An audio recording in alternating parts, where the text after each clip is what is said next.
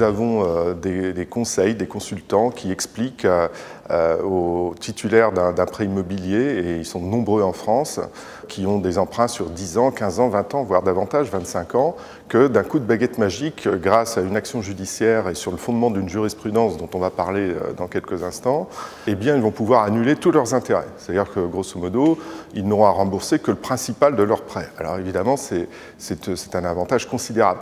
C'est de l'argent facile, c'est un effet d'aubaine, puisque sur le coût total d'un crédit euh, dont on parle, euh, ça peut représenter 40, 50%, 60% de ce coût total.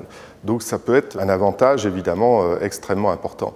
Et c'est la raison pour laquelle il y a autant d'actions qui vise à contester le TEG qui est affiché par les banques, dont, les banques donnent l'information au, moment de la conclusion de, chaque crédit.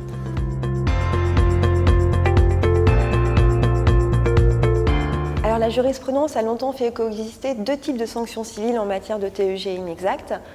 D'une part, la déchéance du droit aux intérêts, en totalité ou dans la proportion fixée par le juge. il s'agit là d'une sanction qui résulte de dispositions spécifiques du Code de la consommation. Et puis d'autre part, euh, la nullité de la stipulation d'intérêt conventionnel. Et là, il s'agit d'une sanction qui résulte en revanche d'une création prétorienne.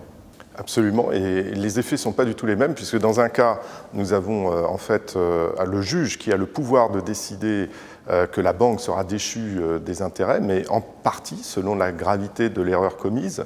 Euh, et pourra donc moduler la sanction euh, infligée à la banque.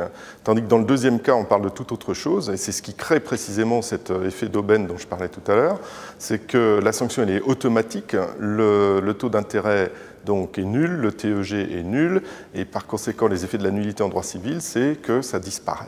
Certes, euh, est substitué néanmoins le taux d'intérêt légal, mais euh, ce taux d'intérêt légal est extrêmement minime et ne permet absolument pas à la banque euh, de, pouvoir équilibrer en quoi que ce soit cette sanction radicale de disparition des intérêts conventionnels.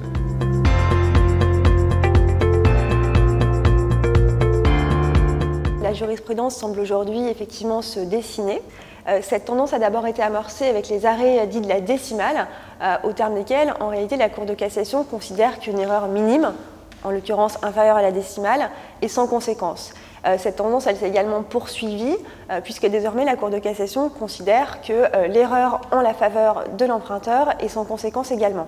Ce que nous observons également, c'est que la jurisprudence tend à abandonner la sanction de la nullité en faveur de la sanction de la déchéance.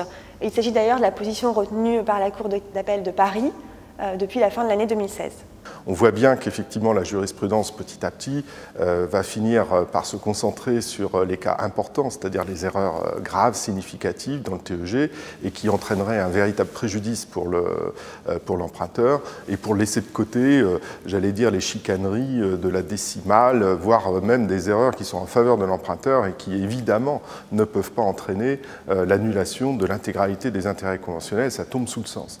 Et il y a un adage latin que j'aime bien et qui je trouve illustre très très bien la situation et l'évolution de cette jurisprudence qui est de minimis non curat pretor. De ce qui est petit, euh, euh, non important, le juge ne s'occupe pas. Euh, et je trouve que c'est vraiment la conclusion qui s'impose sur ce sujet.